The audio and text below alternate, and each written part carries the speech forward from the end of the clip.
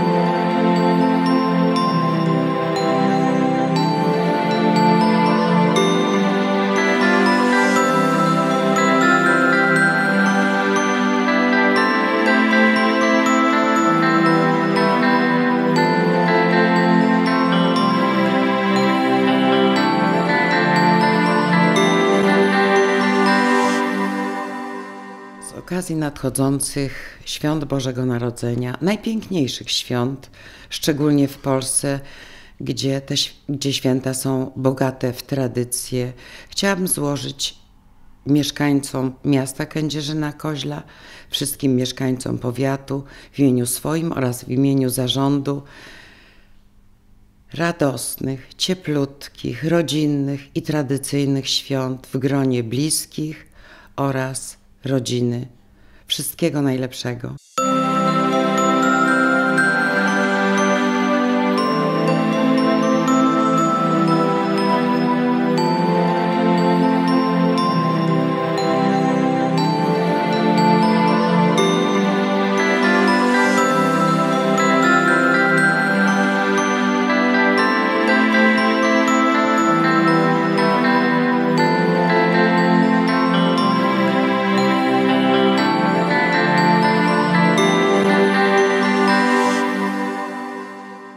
W imieniu Grupy Azoty Zakładów Azotowych Kędzierzyn chciałbym złożyć Państwu najserdeczniejsze życzenia z okazji zbliżających się świąt Bożego Narodzenia. Te słowa kieruję przede wszystkim do naszych pracowników, ale również do mieszkańców Kędzierzyna Koźla. Niech to będzie czas wypoczynku, spokoju i szczęścia dla Państwa i dla Waszych bliskich. W 2019 roku życzę Wam spełnienia marzeń, radości, wszystkiego dobrego.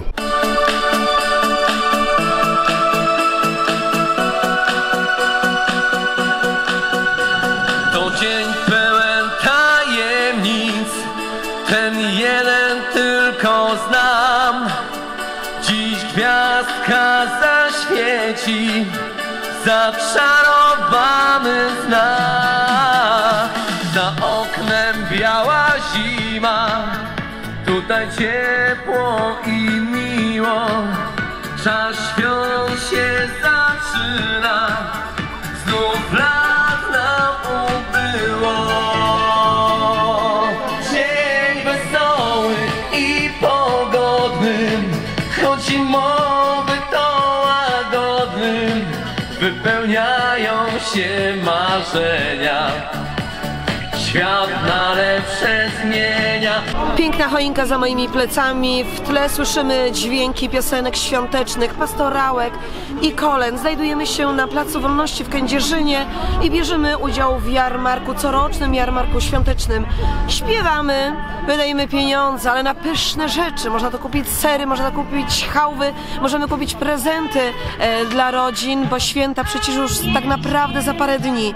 E, niezwykłą atrakcją jest również żywa stajenka, tam najwięcej dzieci się gromadzi i dokarmia te zwierzątka. Ale tak naprawdę to jest jedno wielkie spotkanie e, mieszkańców naszego miasta. Od godziny 12 do 18 przechodzą tędy ludzie, spotykają się, rozmawiają, e, pachnie jedzeniem, pachnie grzanym winem. E, teraz jeszcze możemy ogrzać się przy koksiakach, bo jest dzisiaj trochę zimno i tak sobie spędzamy ten czas. Czas już taki niedługi, niedaleki czas do świąt. Zapraszam serdecznie wszystkich, bo jutro również możemy pośpiewać, a śpiewają dla nas e, wokaliści z naszego miasta. Śpiewa Ania Jelinek, e, Damian Surow, nie zabraknie Biesiady Kozielskiej, śpiewa studio piosenki działające przy Miejskim Ośrodku e, Kultury. Na pewno będzie z nami zespół Komorno i wiele, wiele innych ciekawych, interesujących osób. Wszystkiego najlepszego życzę Państwu, spokoju, miłości i żebyście mogli każdego dnia w następnym roku spotykać samych dobrych i kochających ludzi. Tego Państwu bardzo, bardzo życzę. Pięknie jest na tym naszym jarmarku, słyszymy kolendy, widzimy choinkę i w tym momencie właśnie chciałam Państwu złożyć najserdeczniejsze życzenia. Pięknych świąt, rodzinnych, takich naprawdę, żeby Państwo poczuli ich prawdziwą moc, duchowo przeżytych. Życzę Wam wszystkiego, wszystkiego najlepszego i życzę tego, aby e, moc e, cudu, moc tych świąt i tej tajemnicy, tej nocy towarzyszyła Państwu przez cały kolejny 2019 rok. Zaśpiewajmy kolendę Jezusowi dziś, niech kolenduje z nami cały świat. Zaśpiewajmy kolendę Jezusowi dziś, niech kolenduje z nami cała ziemia. Zaśpiewajmy kolendę Jezusowi dziś, niech kolenduje z nami cały świat. was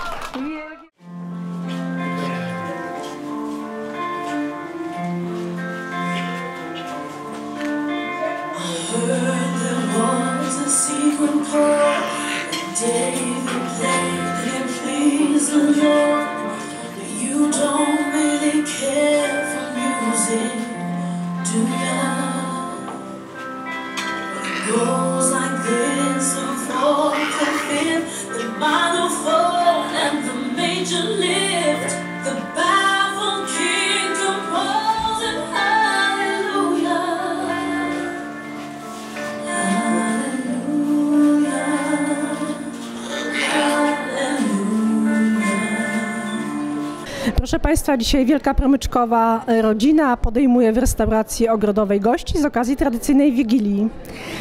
E, Na to spotkanie uczestnicy Promyczka wraz z terapeutami przygotowali spotkanie bardzo piękne. Podczas tego spotkania możecie Państwo zobaczyć, jak tworzy się dzieło e, wigilijne w postaci Gwiazdy Betlejemskiej, wysłuchać kolęd i pastorałek. Proszę Państwa, jest mi niezmiernie miło, że Telewizja Miejska wspiera nas od początku naszej działalności, a ponieważ Promyczek obecnie znalazł się w nieco trudnej sytuacji i czeka na swoje ostateczne miejsce na Pogorzelcu, e, każda, e, każda osoba, która wspiera naszą działalność i kieruje do nas ciepłe swoje słowa jest dla nas bardzo ważna. A w nadchodzącym roku chciałabym życzyć wszystkim uczestnikom, rodzicom, rodzinom, zaproszonym gościom pięknych, spokojnych, rodzinnych, tradycyjnych świąt oraz szampańskiej zabawy sylwestrowej. Dziękuję bardzo. Nie wiem, czy wszyscy z Państwa wiecie, przygotowujemy dwa piętra gimnazjum numer 3 na Pogorzelcu dla, dla promyczka, a żeby już miał odpowiednie warunki do tego, żeby takie przedstawienia nam przedstawiać dzisiaj, a żeby mogli swobodnie prowadzić i lekcje, i zajęcia. Ja mam nadzieję, że nie będzie dużych opóźnień, czyli w czerwcu zaprosimy na otwarcie, ale to już będą piękne warunki. Dziękuję też za to, że Pani Dyrektor Szkoły Pasowań 19 przyjęła pod skrzydła y, i cała to jest przyjemność, mi się wydaje, że będzie Pani brakowało, jak pojadą, wy, wyjadą za kilka miesięcy. Ja wiem, że to jest problem, że to jest dla wszystkich dodatkowy problem, ale nie da się stworzyć wspaniałych warunków bez utrudnień. I mam nadzieję, że to wszyscy rozumieją i, i pani dyrektor też, też da radę jeszcze te kilka miesięcy. Szanowni Państwo, w imieniu wszystkich radnych naszego miasta Kędzierzyn-Koźle chciałbym życzyć Państwu dużo zdrowia, dużo pokoju, dużo miłości Bożej. Mm, No, o tym pokoju, o którym mówiłem, żeby nasze rodziny były zgodne, żeby nas inspirowały do dobrej pracy. Życzę również wszystkim Państwu, dziękując za zaproszenie, dużo pogody ducha, dużo sił pracy. Życzę młodzieży i wszystkim tym, którzy nas tutaj przed chwilą inspirowali, żeby ten pokój i ta miłość Boża była dla nich dotknięciem takim szczęśliwym.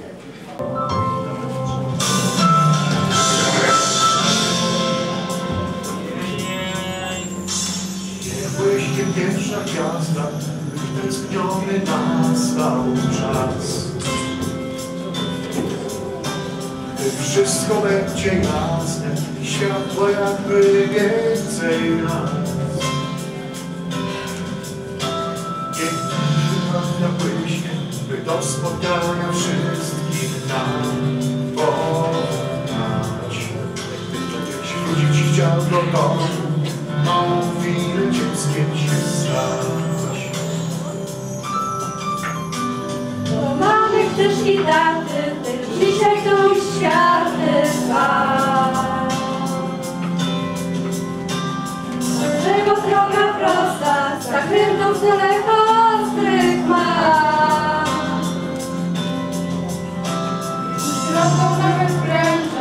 Thank you.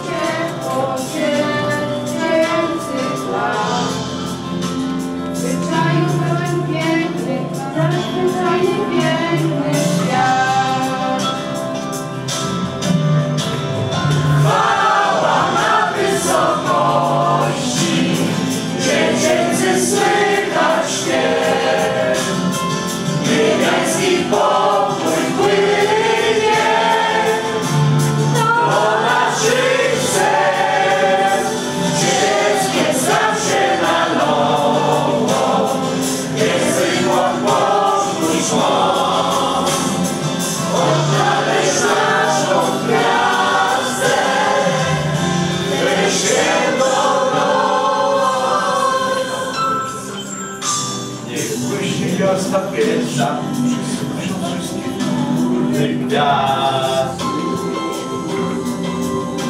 Ten krzyk cokolwiek miasto z ulic wielkich miast.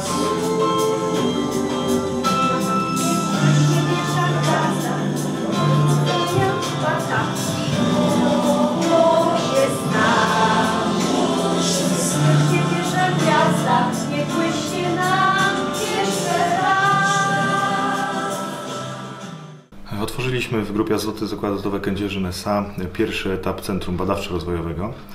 E, To jest ta mniejsza część projektu, który planujemy kontynuować w latach następnych, czyli tak zwanego nazwanego na nasze potrzeby CBR-u drugiego, powiązanego z budową e, dużej siedziby Centrum Badawczo-Rozwojowego i dodatkowym dosprzętowieniem. Ten pierwszy etap to był koszt około 13 milionów złotych, z czego prawie 3 miliony to dofinansowanie unijne. E, Składa się na niego, składają się na niego dwa etapy. Pierwszy to część laboratoryjna, gdzie przygotowujemy nowe produkty. Druga to część produkcyjna, gdzie jesteśmy w stanie w oparciu o te nowe produkty, o pracę laboratoriów przygotować próbne serie produktów do testowania już na liniach produkcyjnych u naszych klientów. Ile osób i czy w ogóle nowe osoby dostaną pracę w tym miejscu? E, Już na dziś zatrudniliśmy pięć nowych osób e, do obsługi tych laboratoriów i części produkcyjnej, czyli do CBR-u pierwszego, a docelowo w okresie trwałości projektu, który wynosi 5 lat, e, zatrudnienie w tej jednostce ma wynieść e, 14 osób. Niewątpliwie trzeba posiadać odpowiednią wiedzę i kompetencje. Każdorazowo takie ogłoszenie jest powielane na naszych stronach internetowych i w lokalnych mediach. Pożądany najbardziej pracownik to o ile nie doktor, to przynajmniej doktorant y, z chemii, absolwent jednego z wydziałów, z którymi współpracujemy. Aczkolwiek nie zamykamy tutaj dróg również dla osób z innych uczelni, czy nawet y, spoza terytorium Rzeczypospolitej. Każdorazowo takie ogłoszenie pojawia się na naszej stronie. Zapo zachęcam wszystkie osoby, które wyrażają zainteresowaniem pracy, pracą w Grupie Azoty do zapoznawania się z tymi informacjami. Największe Centrum Badawczo-Rozwojowe otworzono również w tym roku w Tarnowie i to już jest centrum na dużą skalę, porównywalne do tego, które planujemy e, budować w dwóch kolejnych latach w Kędzierzynie. E, Swoje drobne jednostki badawcze posiadają wszystkie spółki, natomiast e, dzięki realizacji tego projektu nasze laboratoria są na dzisiaj, poza oczywiście tym dużym tarnowskim centrum, wyposażone zdecydowanie najlepiej. Jest to podstawowy instrument każdego laboratorium analitycznego. Dodatkowo doposażony jest moduł Peltiera, który umożliwia robienie widm i analizowania próbek w różnych temperaturach. Mamy tutaj y, urządzenie y, chromatograf gazowy z detekcją mas, który służy do oznaczania składników mieszaniny organicznej, zarówno jakościowej i ilościowej. Jakościowej dlatego, że detektorem jest detekcja ma mas. I ona pozwala nam i na identyfikację każdego składnika tej mieszaniny organicznej. Aparat jest wyposażony jeszcze dodatkowo y, w autosampler najnowszej generacji i pozwala to dozowanie próbek y, w czasie, tak że operator nie musi stać i obsługiwać tego urządzenia ręcznie. Dozowanie próbki odbywa się automatycznie. Znajdujemy się w laboratorium badań fizykochemicznych polimerów. Sprzęty, które posiadamy to e, twardościomierz, sprzęt do karbów, młot do badań udarnościowych. W dygestorium mamy aparat do stabilności termicznej polichlorku winylu. Dalej plastometr tam znajduje się maszyna do badań wytrzymałościowych, wytrzymałość na y, rozciąganie, zrywanie, zginanie, a także ściskanie. Nazywam się Bob Karolina, jestem specjalistą do spraw badań w Laboratorium Badań Aplikacyjnych i Rozwojowych. Aparat y, do miareczkowania, dość takie zaawansowane urządzenie, y, również z piecykiem do oznaczenia wody metodą Karla Fischera, zarówno kulometrycznie, jak i wolumetrycznie. Pomimo szeroko prowadzonych działań prewencyjnych, jak również kampanii informacyjnych, które ukazują się zarówno w mediach ogólnokrajowych, jak i mediach lokalnych, w dalszym ciągu przestępcy oszukują starsze osoby.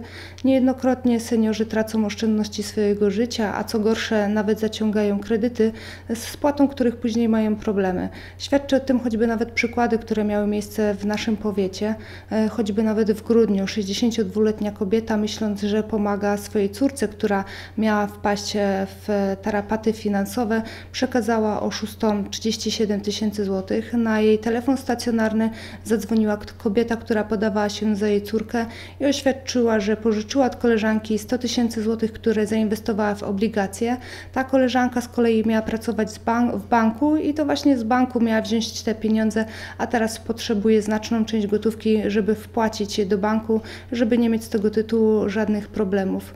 62-latka myślała, że pomaga córce, a okazało się, że przekazała pieniądze oszustce. Kolejne starsze małżeństwo, kobieta oraz mężczyzna, którzy mieli ponad 80 lat, myśląc, że pomagają wnuczce, która miała spowodować wypadek, e, przekazali oszustom 32 tysiące złotych.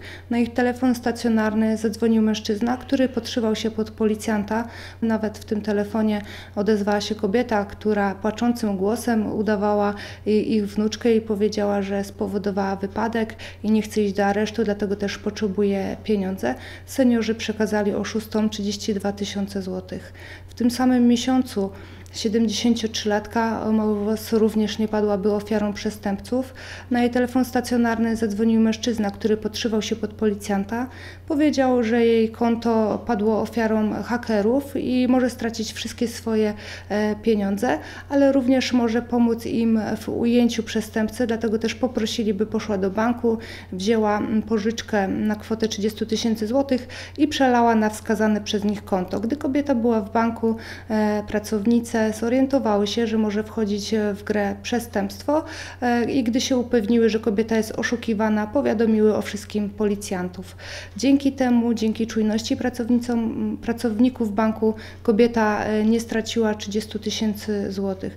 Dlatego też apelujemy wszystkich o czujność, a przede wszystkim o to, żeby kierowali się zasadą ograniczonego zaufania w stosunku co do obcych. Jak się okazuje, w większości przypadków e, osoby pokrzywdzone słyszały w większym bądź też w mniejszym zakresie o metodach działania przestępców, e, no ale tutaj techniki manipulacyjne, którymi posługują się oszuści, e, jak też przekonanie wielu osób, że ich ten problem nie dotyczy, powodują, że właśnie osoby tracą często oszczędności całego swojego życia, no bądź też tak, jak już wcześniej wspomniałam, zaciągają kredyty.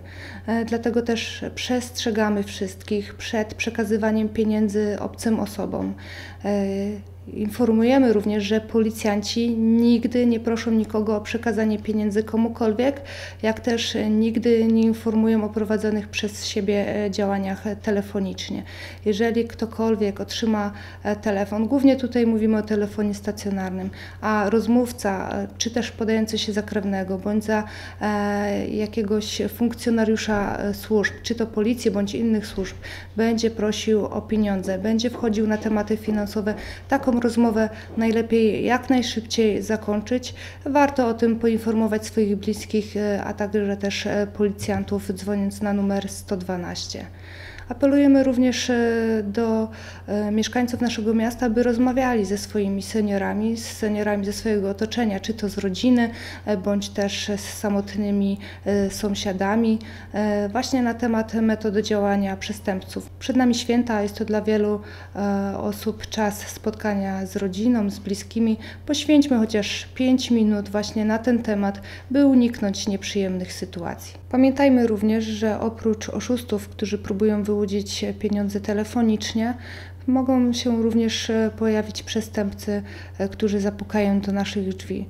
E, choćby nawet Dwa miesiące temu do 82-letniej kobiety naszego miasta zapukała kobieta, która poinformowała ją, że sprzedaje koce i y, jej sąsiadka z dołu miała zakupić trzy koce i chciała czwarty, dlatego też poprosiła ją o kartkę, żeby mogła napisać informację, e, w jaki sposób może zamówić ten czwarty koc. Gdy 82-latka wpuściła kobietę do mieszkania, za chwileczkę e, zapukała kolejna osoba, była to młoda kobieta, kobieta, która poprosiła o szklankę wody e, i gdy dwie kobiety były w środku, jedna zagadywała 82-latkę, natomiast druga w tym czasie ją okradła. Gdy kobiety opuściły mieszkanie, okazało się, że starsza pani straciła e, ponad 12 tysięcy złotych. Dlatego też, żeby czuć się bezpiecznie we własnym domu, pamiętajmy o tym, by nie wpuszczać do niego osób nieznajomych i apelujemy tu również o czujność sąsiedzką. Zwracajmy uwagę na to, kto wchodzi na klatkę schodową, kto puka do sąsiadów, w szczególności jeżeli są to osoby starsze, osoby samotne. Z okazji 40-lecia Mazurskiej Służby Ratowniczej Poczta Polska wydała kartkę pocztową, a Urząd Miasta ufundował nam znaczek personalizowany. Mazurską Służbę Ratowniczą powołał Urząd Miasta w Kędzierzynie-Koźlu i ona jest głównym patronatem a okazja nie byle jaka, bo około 40 lat, no to jest ładny kawałek czasu. Spotkaliśmy się na mm, prezentacji znaczka, znaczka wydanego z okazji 40 lat Mazurskiej Służby Ratowniczej. Witam wszystkich Państwa bardzo, bardzo serdecznie. E, znaczek został wydany dzięki również Wojskowemu Kołu Polskiego Związku Filatelistów w Kędzierzynie-Koźlu. Mm, znaczek został wydany dzięki Poczcie Polskiej, przez Pocztę Polską. Bardzo dziękujemy.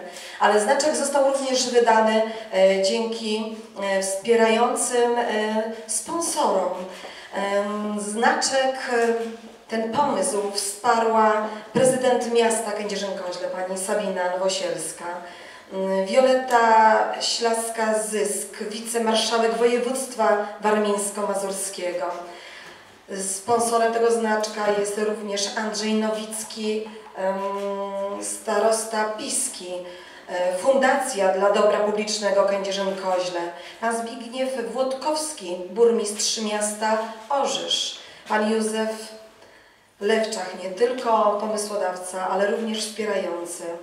E, Firma Ruzik, przedsiębiorstwo wielobranżowe Ostrożnica, również KRMG, spółka ZO z Kędzierzyna Koźla. Bardzo się cieszę, że wszyscy Państwo docenili Mazurską Służbę Ratowniczą i wsparli e, wydanie tego znaczka.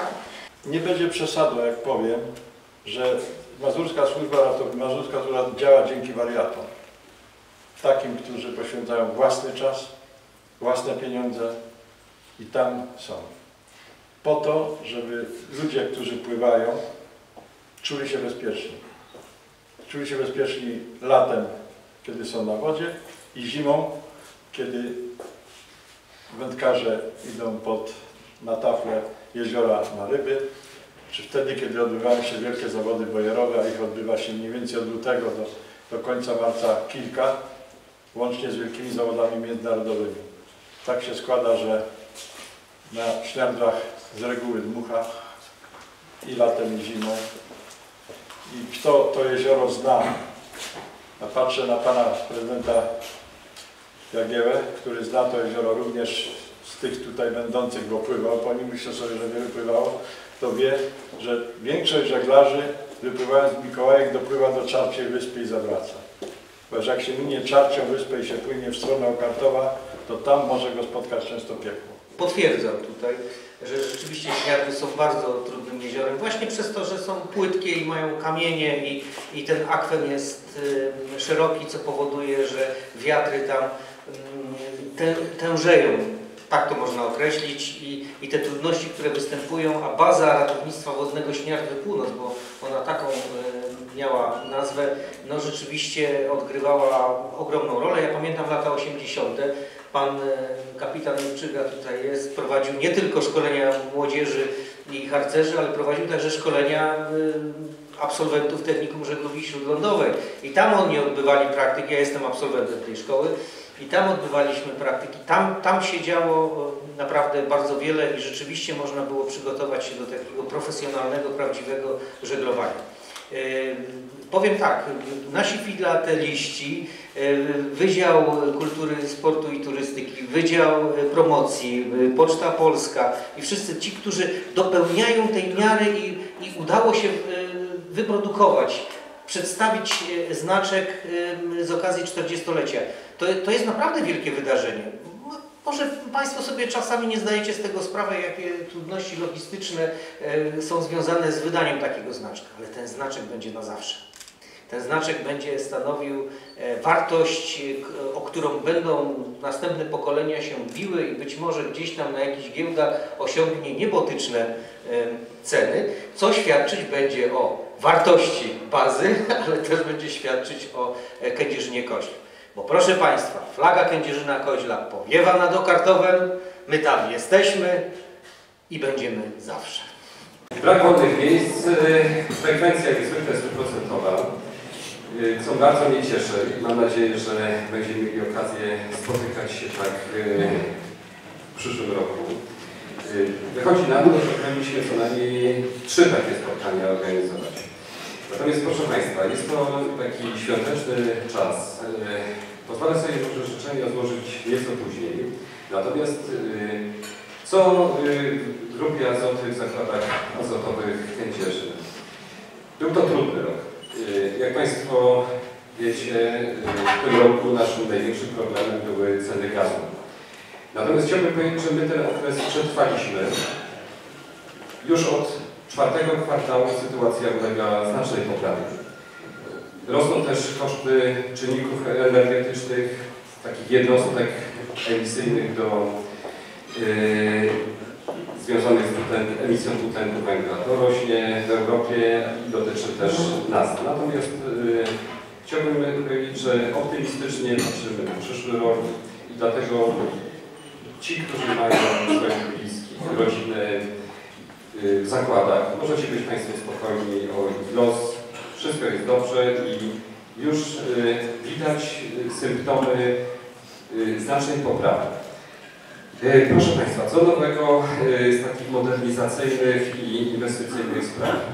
Otóż w grudniu, właściwie już w listopadzie, rozpoczęliśmy próby technologiczne związane, związane z instalacją y, estrów specjalnych. Tutaj to już przebiega, jest w fazie y, y, tych prób testowych.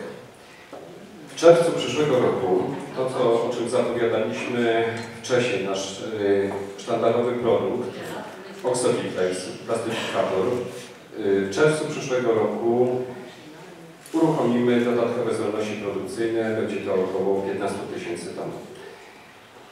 W tym roku także udało nam się za kilkanaście milionów zmodernizować naszą biologiczną oczyszczalnię ścieków.